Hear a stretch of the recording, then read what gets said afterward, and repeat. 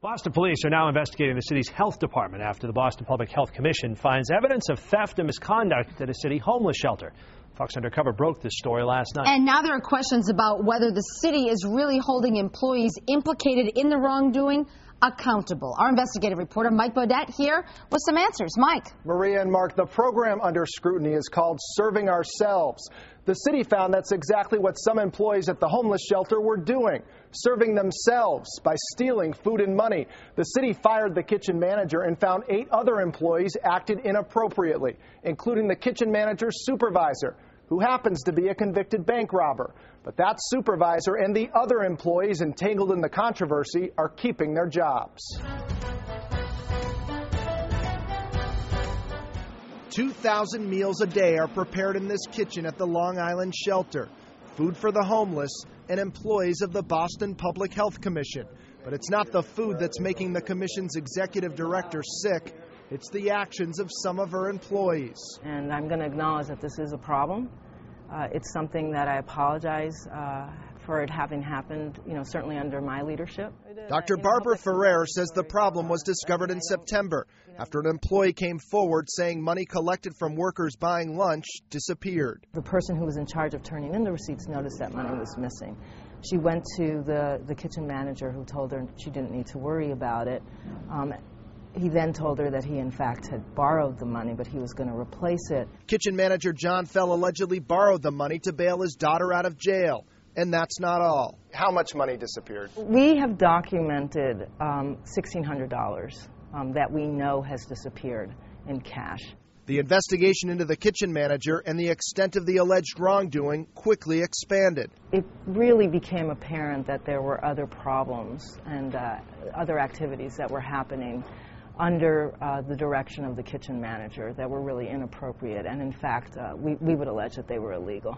According to this internal investigation conducted by the Boston Public Health Commission, the kitchen manager ordered food for his personal consumption at the commission's expense. In this email, Fell writes, Call and order me one case of ribs and flat meat. It's for my son's party.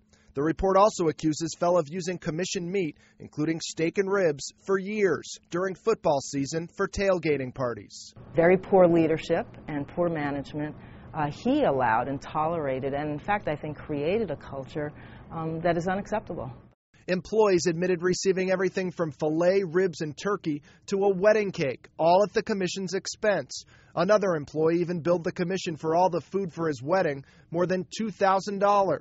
The kitchen manager worked at the Long Island shelter for 16 years and was fired after he wouldn't cooperate with the internal investigation. Could this have gone on for 16 years? You know, I, I, would think anything's possible, but I think that scenario is unlikely. The truth is, you don't know how long this was going on. Absolutely not. Absolutely not. And we're looking into it. You see, we, you know, we've given you a 55-page report. Um, we're turning it over to Boston Police to get their help on it. Eight other employees are facing disciplinary action, including the kitchen manager's boss, Homeless Services Administrator John Christian. The Harvard-educated Christian is no stranger to the spotlight. In the early 90s, he was dubbed the Yuppie Bank Robber after the FBI linked him to a string of 21 bank robberies. He pleaded guilty in 1992 to two of the robberies and was sentenced to nearly 10 years in prison. I'm not going to comment on the particular histories of any, any of our employees or any personnel who work at the Commission. In general, I do want to make a strong statement about people who go to jail, do their time, come out, complete their parole, are fully rehabilitated. In Christian's case, that rehabilitation could be in question. He admitted to the internal investigator that at best, I am guilty of gross negligent supervision of the kitchen. But the internal investigator's report comes down hard, pointing out the city kitchen catered a birthday party for Christian's mother in law and his sister's funeral. But Christian did not disclose that to the investigator until after another employee implicated him. Christian then told the investigator he was sure everything was paid for and produced emails and a copy of this check for $100, which the investigator noted he considers proof that the catering provided was paid for. The kitchen also provided catering to a construction company, a company where Christian told the investigator he knew the guys. It turns out he knows them well. He's listed in state records as the manager of the company. The investigator says Christian downplayed his role in an attempt to conceal any perception of impropriety, fully aware of the ethical implication. You got pretty lucky holding onto your job. Uh, I really can't speak to you. I'm sorry. You use the city kitchen to cater events for your family. Is that appropriate? I can only tell you that I can't speak to you. I just, I can't, can't do it. Given your extensive criminal record, do you think you have any credibility when it comes to allegations involving stealing? I can't respond. Dr. Ferrer is responding. She's standing by her decision to only fire the kitchen manager. Is the supervisor getting a free pass?